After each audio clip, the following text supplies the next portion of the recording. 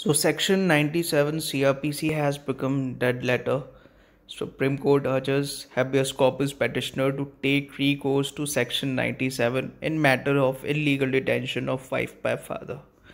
The Supreme Court on Tuesday urged a petitioner having filed a habeas corpus plea under Article 32 against the illegal detention of his wife by her father to take recourse to section 97 CRPC which says search for persons wrongfully confined.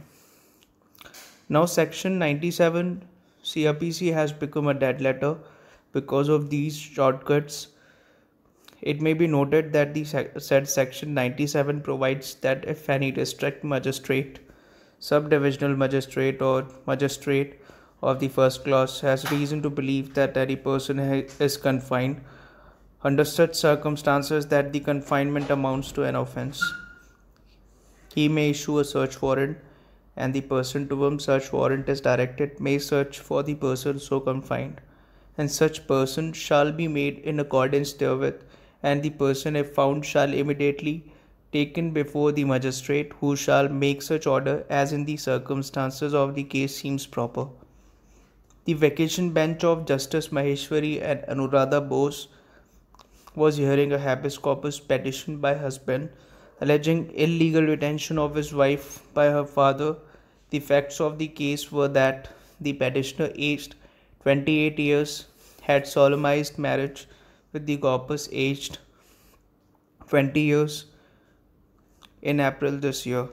It was contended that the that after the family member of the corpus received information of the wedding, they had mercilessly beat, beaten her and detained her in a room at their residence to prevent her from cohabiting with the petitioner at their married matrimonial home.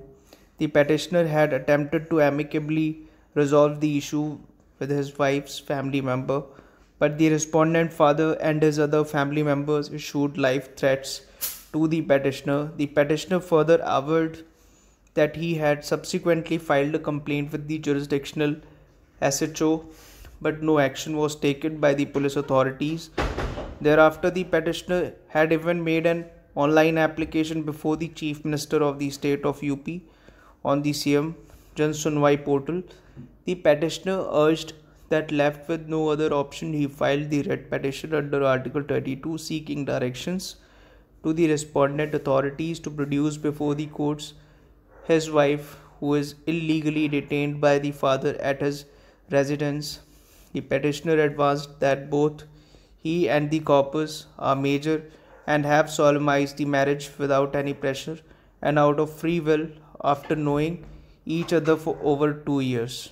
At the outset, Justice Maheshwari inquired from the advocate for the petitioner you have not you have come under 32 why is the high court not competent to deal with this matter the advocate for the petitioner replied in view of the prevailing COVID situation in the state.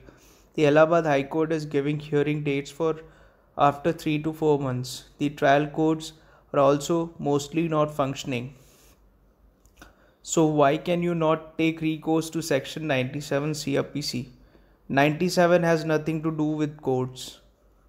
The bench then passed over the matter to allow time to the advocate to peruse the said provision of the CRPC when the matter was called out again, the advocate submitted that he has read section 97.